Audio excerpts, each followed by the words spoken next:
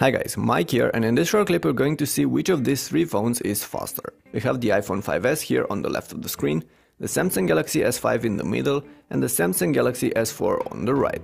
The iPhone is of course powered by an Apple A7 processor with 1GB of RAM, the Galaxy S5 runs on a Snapdragon 801 platform with 2GB of RAM, while the Galaxy S4 is motorized by a Snapdragon 600 platform with 2GB of RAM as well. First we're going to run Geekbench on all of these. The iPhone 5 demolishes the Samsungs in terms of single-core performances, scoring 1414 points, in comparison to the 930 points scored by the S5 and the 697 scored by the S4. When it comes to multi-core performance though, the Galaxy S5 steps in front. With a total of 2884 points, the iPhone 5s comes in second with 2569 points, and the S4 is still last with 2165.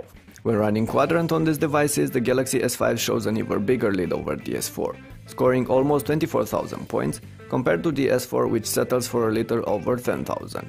The iPhone 5s sits this round out, as Quadrant only works on Android right now.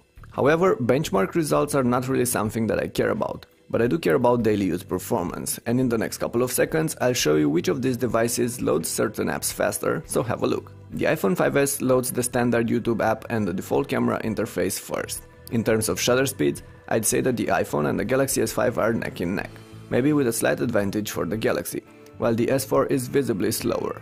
Next, the iPhone 5s loads Shazam first, followed by the S4 and then the S5, and the exact same thing happens when loading Google Maps. Launching the dialer on the other hand sees the iPhone 5s again outpacing the Samsungs, with the S5 coming second and the S4 third, and the same happens when loading a new game in GTA Vice City. So, long story short, the iPhone 5s came first in all the above scenarios, with the S4 and the S5 taking turns at the second and third places. It's worth mentioning that the iPhone 5s is running iOS 7.1 with reduced motion turned on, while the Samsungs are running the default versions of Android 4.4 KitKat without any tweaks.